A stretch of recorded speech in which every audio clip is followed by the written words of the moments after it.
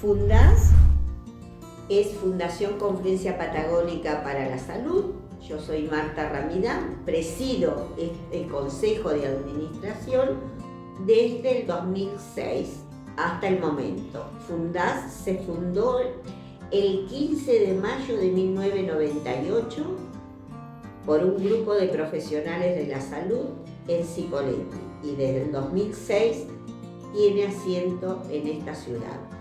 Nos dedicamos a trabajar con personas con discapacidad intelectual en talleres de arte y deporte. Tenemos, contamos con un equipo técnico y con talleristas que gracias a Dios hoy los pone el programa Gestos de la provincia de Río Negro. Contamos con 36 inscritos y hacen distintas actividades y escuelas deportivas que tenemos.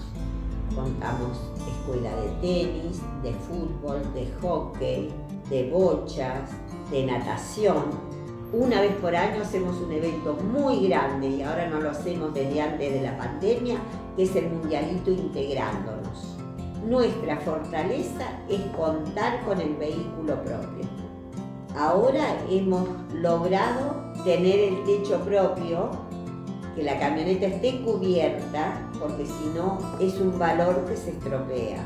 Y para el cumpleaños de la institución, la ministra Reynoso nos hizo un regalito y acabamos de terminar ahora el techado.